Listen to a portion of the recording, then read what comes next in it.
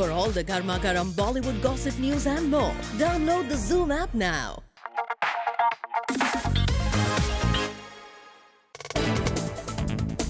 सूरज को पार्टी करते हुए किया गया स्पॉट सूरज ने सेलिब्रेट किया अपना बर्थडे और साथ ही यहाँ फोटोग्राफर्स के लिए पोज भी किया. वैसे न सिर्फ़ फोटोग्राफर्स बल्कि अपने फैंस के साथ भी सूरज ने क्लिक करवाए पिक्चर्स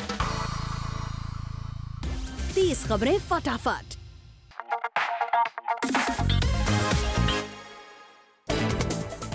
संजय दत्त, जो कि इसी साल फरवरी में अपनी सजा काट के बाहर आए हैं, वो फिर से अपनी फैमिली को मिस कर रहे हैं। दरअसल उनकी वाइफ मान्यता और बच्चे फ़िलहाल श्रीलंका में हॉलीडे मना रहे हैं, और वो जा नहीं पाए हैं, क्योंकि उन्होंने साजिद खान और रितेश देशमुख के शो के लिए कमिट कर दिया था कि वो शो में अपने फ्रेंड्स अजय देवगन और अभिषेक बच्चन के साथ शामिल होंगे।